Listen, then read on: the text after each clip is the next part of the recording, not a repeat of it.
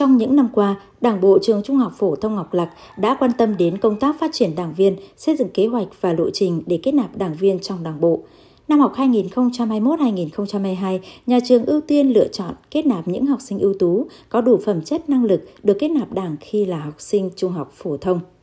Xác định phát triển đảng viên mới là một trong những nhiệm vụ quan trọng trong công tác xây dựng đảng, thực hiện nghị quyết 25 của Ban chấp hành Trung ương Đảng khóa 10 về tăng cường sự lãnh đạo của Đảng đối với công tác thanh niên thời kỳ đẩy mạnh công nghiệp hóa hiện đại hóa, đã đặt ra mục tiêu phấn đấu đạt tỷ lệ ít nhất 70% đảng viên mới được kết nạp từ đoàn viên. Với lực lượng đoàn viên nòng cốt là học sinh, trường học chính là mảnh đất nhiều tiềm năng để ươm mầm những hạt giống đỏ. Vì vậy, năm học 2021-2022, trường Trung học phổ thông Ngọc Lặc là ngọn cờ đầu trong công tác bồi dưỡng, phát triển, kết nạp học sinh vào Đảng. Giai đoạn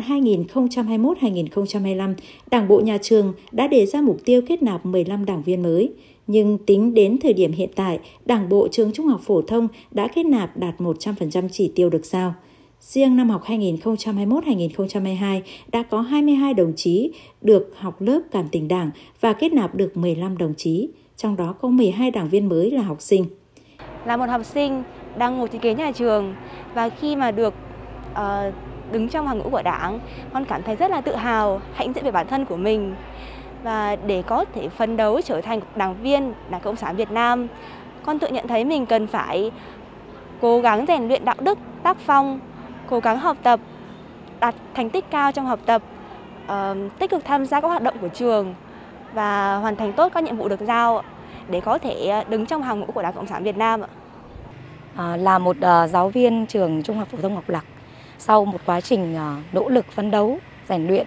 thì em được ờ, giới thiệu đi học ờ, lớp cảm tình đảng và hiện tại em đang là đảng viên dự bị. Thì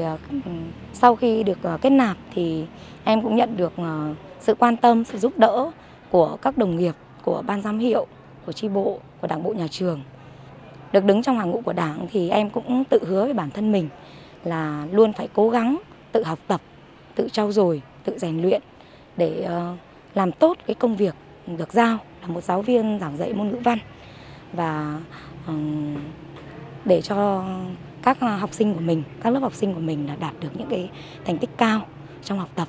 ờ, rèn luyện tốt, trở thành con ngoan, trở thành trò giỏi của gia đình. Và sau này trở thành ờ, người công dân có ích của xã hội. À, về các hoạt động phong trào của nhà trường thì em cũng rất là nhiệt tình và tích cực tham gia, ờ, hoàn thành các công việc được giao.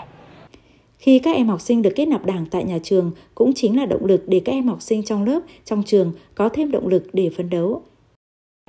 Bản thân em và các bạn học sinh lớp 12 A1 luôn muốn góp mặt mình vào hàng ngũ đảng trong tương lai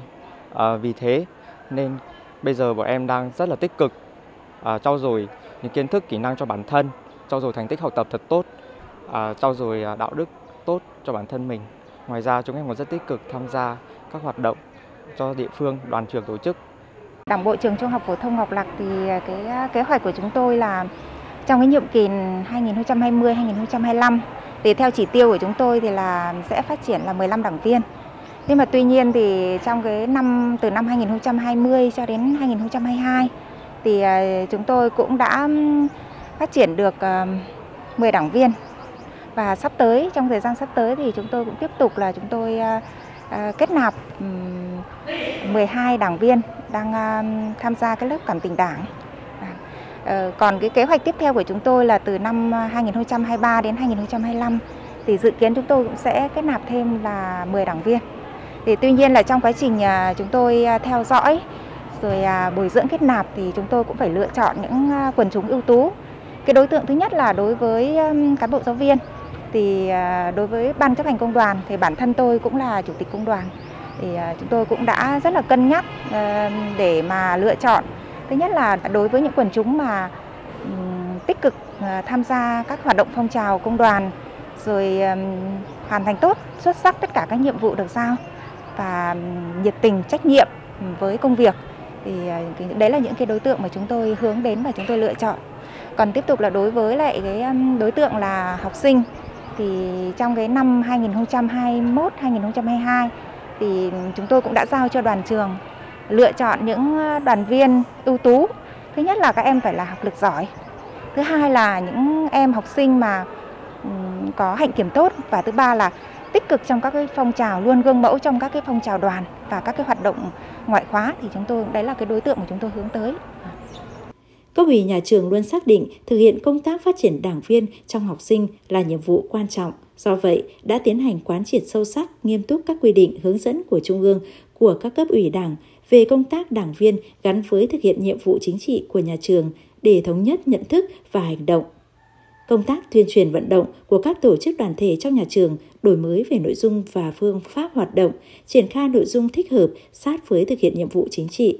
Từ đó xuất hiện nhiều tấm gương điển hình, ưu tú là học sinh để giới thiệu cho các tổ chức cơ sở đảng bồi dưỡng kết nạp vào đảng.